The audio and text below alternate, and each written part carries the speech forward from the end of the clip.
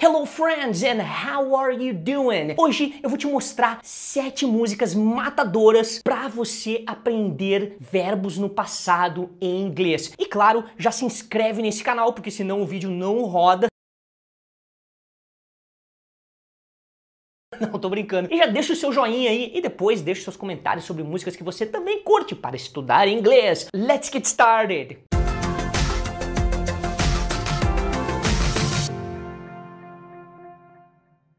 Primeira música que você vai ver é a música do Coldplay. Todo mundo ama essa banda, menos eu. Não, eu gosto também. E chama-se Paradise. Life goes on, it gets so você vai ver coisas como fly away, né? Fly é um verbo irregular e aí no passado fica flew away. O que, que é fly away, teacher? Fly away quer dizer voou, saiu voando.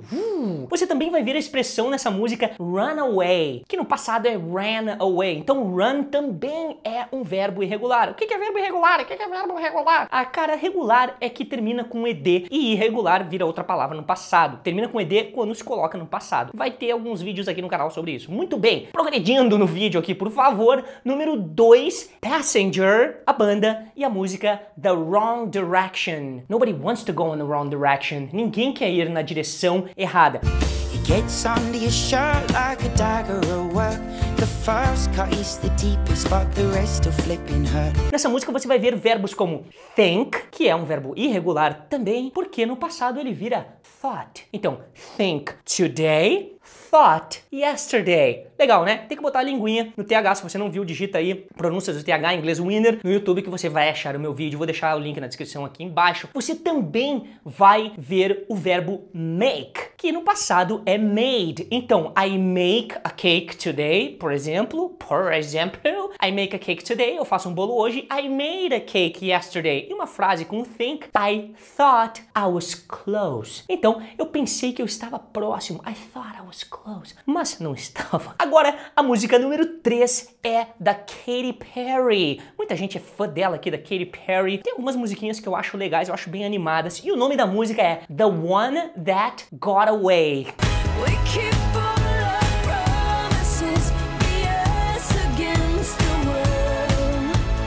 já no título você já recebe aquele verbinho maravilhoso get, que tem um milhão de significados, mas enfim, got away, get away é escapar, certo? Então, the one that got away, aquele que escapou. Muito bem, você também vai ver a expressão nessa música make out, que no passado é made out, mas o que é make out? Make out? Hum, você não sabe o que é make out. Make out é, vou fazer um gesto aqui, ó.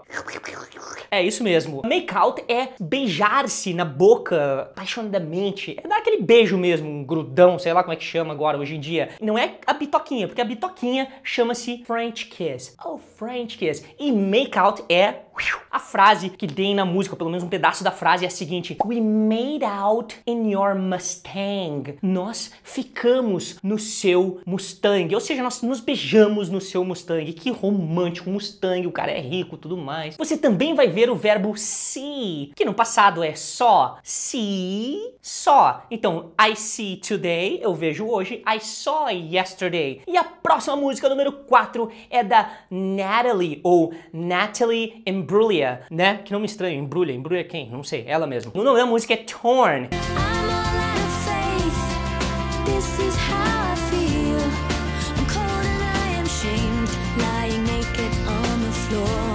Você vai ver expressões como run dry. Run dry, nós já vimos ali em cima que, ou anteriormente, run é um verbo irregular, então essa expressão no passado seria ran dry. O que quer dizer ran dry? Ran dry é acabar. Então olha só esse exemplo aqui para você entender como é que funciona o esquema. Supplies of vaccine could run dry if there is an epidemic. Os estoques de vacinas podem acabar, se esgotar se tiver uma epidemia. E também você vai ver nessa mesma música o verbo show, que é aparecer ou mostrar, né? Show me, me mostra alguma coisa. Que no passado é showed, ele termina com ed, mas ele não é um verbo regular porque depois quando você quer falar mostrado é shown, certo? E se fosse um verbo regular, teria que ser com ed em todas as variações. Mostrar, mostrou e mostrado. E aqui é show, mostrar, showed, mostrou e shown, que é mostrado. Número 5 é a música do Gaultier. Acho que é assim que fala esse nome, Gaultier. Aquela música Somebody That I Used To Know. But you didn't have to cut me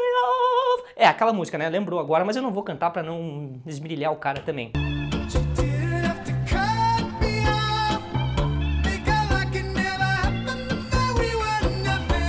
Já nessa frase, but you didn't have to cut me off, já tem uma expressão cut off. Cut me off é me tirar fora da jogada, tipo, pode ser até acabar com o namoro. You didn't have to cut me off, você não precisava me tirar fora da jogada. Ou também cut off significa cortar no trânsito. Quando alguém te corta, você pode falar, por exemplo, dude, that guy just cut me off. Cara, aquele cara ali acabou de me cortar. That guy just cut me off. Você também vai ver nessa música o verbo say, que no passado é say said. Então, I say something today. Eu digo algo hoje. I said something yesterday. Well, you said that we would still be friends. Bem, você disse que nós ainda seríamos amigos. É o que tem na música. Não sei, nós seremos amigos? Acho que sim, né? Porque você vai curtir esse vídeo, compartilhar e se inscrever. A número 6 é da banda One Republic e chama-se Something I Need. Algo que eu preciso. You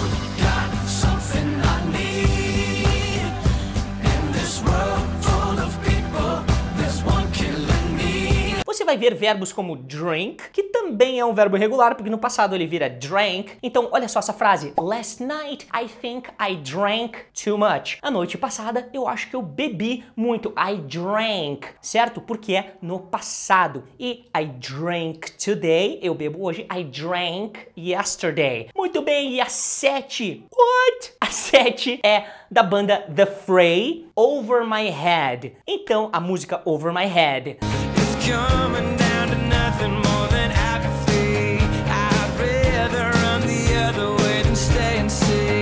Você vai ver verbos como know, saber, que no passado é knew, know, knew. I know today. I knew it. Eu sabia. I knew it was gonna happen. Eu sabia que isso ia acontecer. Então, uma frase de exemplo tirada da música é Everyone I knew was waiting on a queue. Legal, né? Todo mundo que eu conhecia estava esperando numa fila. Queue é fila em inglês britânico. In line seria na fila no inglês americano. Meus amigos, espero que vocês tenham curtido essas dicas de sete músicas matadoras para você aprender de uma vez por todas os verbos regulares e irregulares em inglês dentro de um contexto da música. São músicas fáceis de entender. Deixem seus comentários aqui sobre o que vocês acharam desse vídeo. Curtam o vídeo, se inscrevam no canal, compartilhem. And as usual, my friends, I'll see you next time.